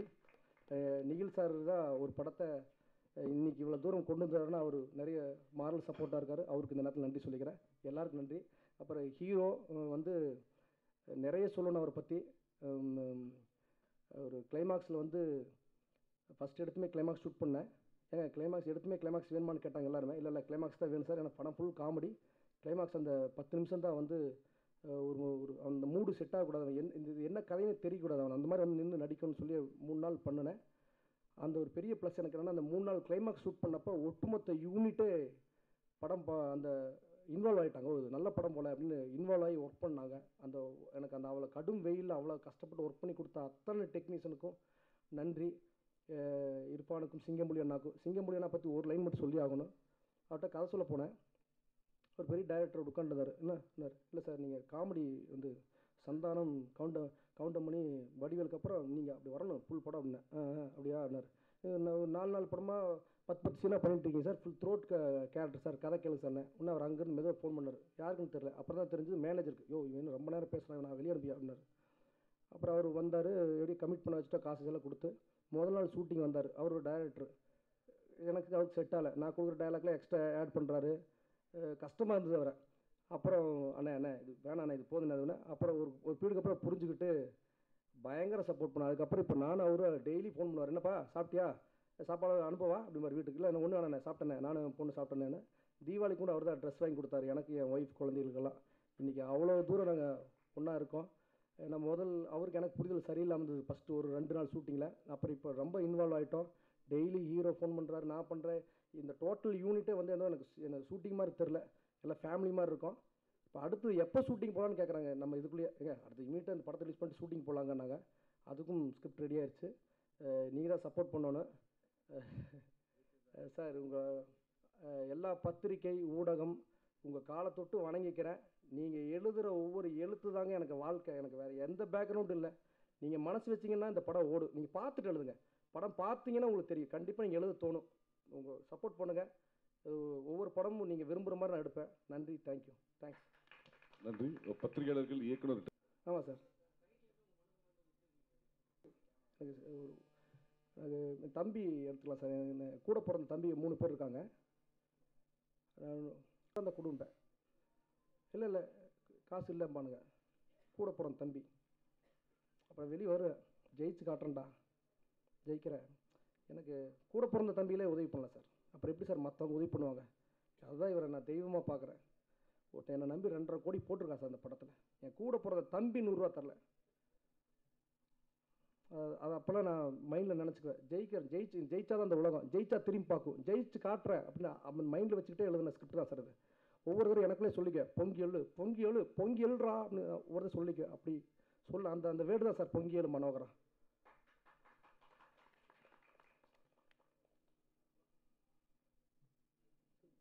அனைவருக்கும் நன்றி வணக்கம். தேங்க்யூ